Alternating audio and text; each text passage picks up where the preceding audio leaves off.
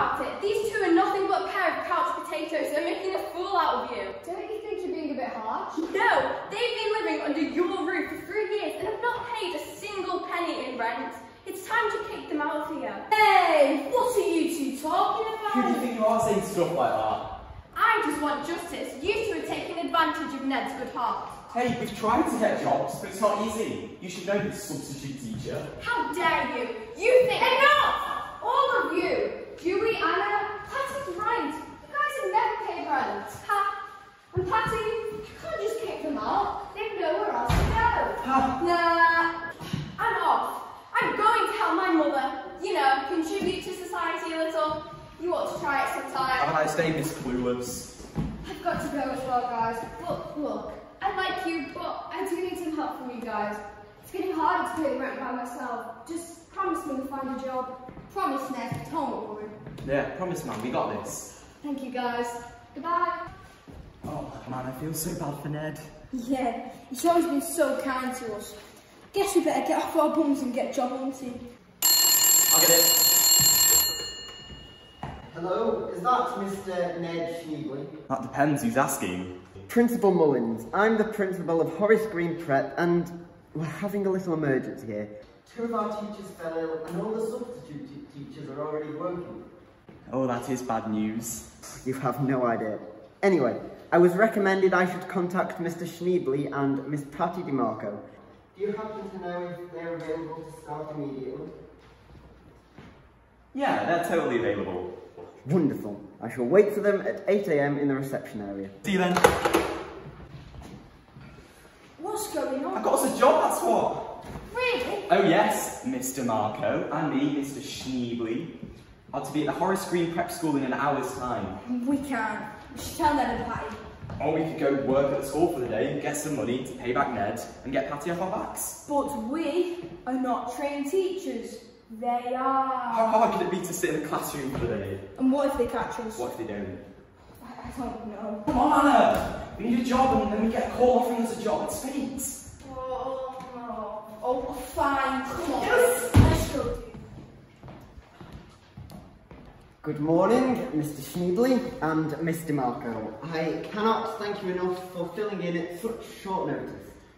You both came highly recommended. Ah, don't mention it. Yeah, it's cool. Your classes are in the next... And no running in the hallway! Smith and Leighton, you will be in detention if I catch you running around here again.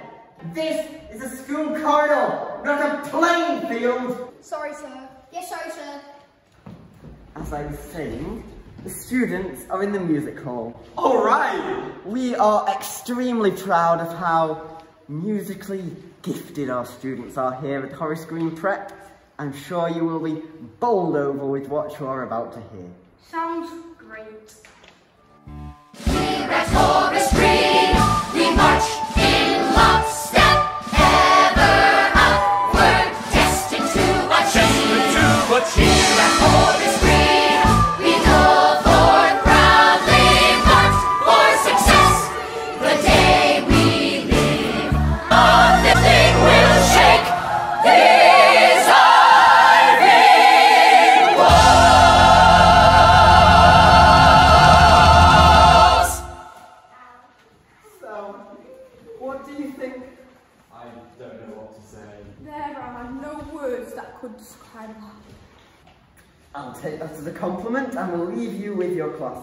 Pupils, I will expect to hear great reports from our substitute teachers by the end of the week. So work hard and remember, you are an ambassador, not only of Horace Green Prep, but of yourselves as well.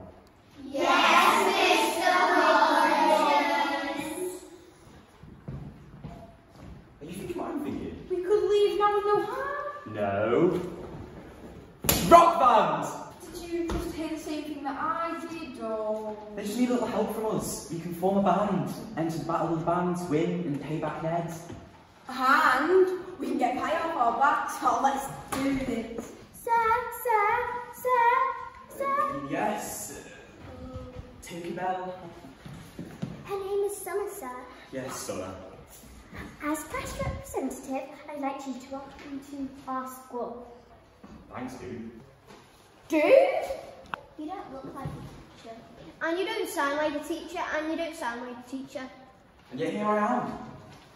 What's wrong with Mr. Phillipson? I heard he had chicken pox. Grown-ups don't get chicken pox. Yeah, they do. My uncle got it. Shut up, Lisa. Sir, Tina told me to shut up. Hey guys, let's stop starting each other. A band needs to be cool with each other. Band? Yeah, you can totally be a band. We are a class and not a band. Mr. Phillipson would never call us a band. Well, Mr. Phillipson is crazy. You guys should trust us. Shouldn't they, Mr. Marco? Excuse me, miss?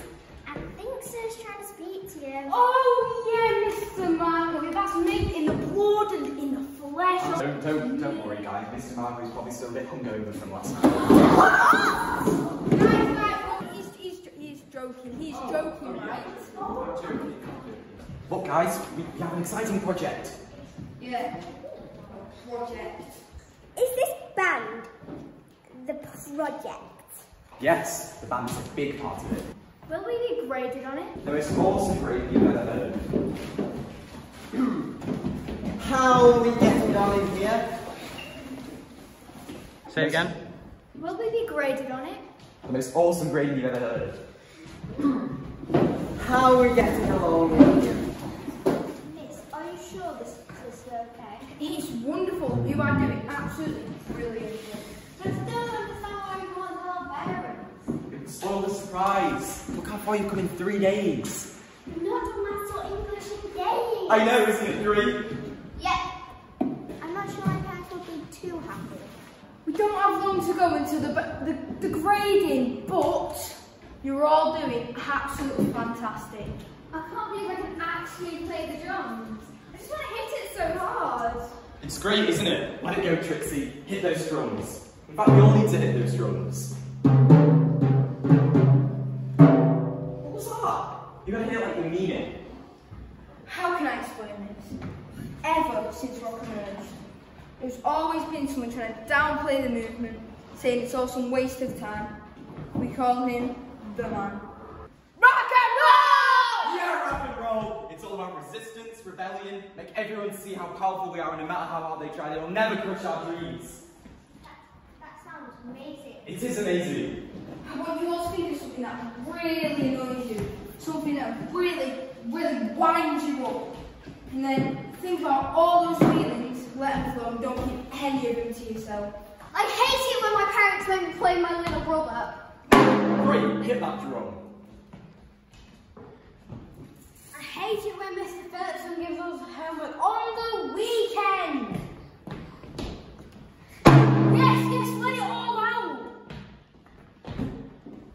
Great. We call this sticking it to the man.